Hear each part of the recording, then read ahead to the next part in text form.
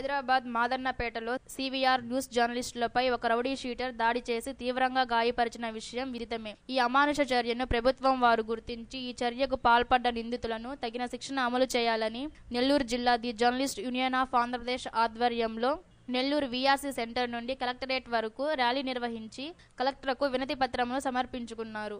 ఈ సందర్భంగా జిల్లా అధ్యక్షులు రామకృష్ణ కార్యదర్శి రావుఫ్ మాట్లాడుతూ ప్రభుత్వానికి ప్రజలకు మధ్యన వారధి లాంటి వారే విలేకరులు.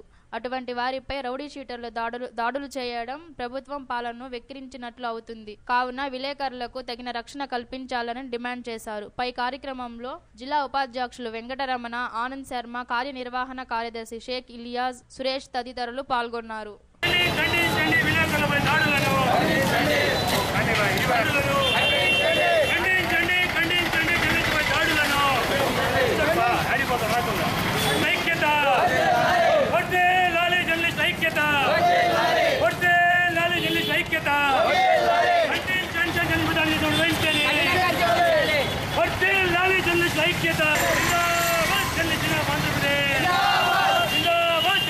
ఆంధ్రప్రదేశ్ ఆంధ్రప్రదేశ్ ఆంధ్రప్రదేశ్ దాడులను కఠినంగా శిక్షించాలి జర్నలిస్ట్ దాడులు చేసిన వారిని. కఠినంగా శిక్షించాలి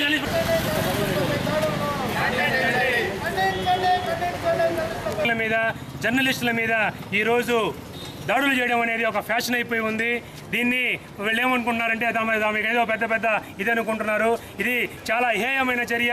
పత్రికా విలేకరి అంటే ఎటువంటి సంఘటన జరిగినా అర్ధరాత్రి వేళ కానీ మిట్ట మధ్యాహ్నం కానీ పట్ట పగలు కానీ ఏ రాత్రి పూటైనా కానీ ఒంటరిగా ఆ సంఘటన స్థలానికి చేరుకొని ఆ వార్తని ప్రజలకు అందజేసేదానికి తన సాయశక్తిగా కృషి చేసేవాడే విలేకరి జర్నలిస్టు ఇటువంటి వారిపై దాడులు చేయడం అనేది చాలా హేయమైన చర్యగా మేము భావిస్తున్నాం. మా జర్నలిస్ట్ ఆంధ్రప్రదేశ్ తరఫున నిన్న జరిగిన మాదన్నపేటలో ఒక రౌడీ షీటర్ వచ్చి విలేకరి మీద దాడి చేశాడంటే ఇది ఎంత దిగజాడుతున్నామో ప్రభుత్వానికి తెలియజేసుకుంటున్నాము. దీన్ని మేము చాలా తీవ్రంగా నిరసిస్తున్నాము.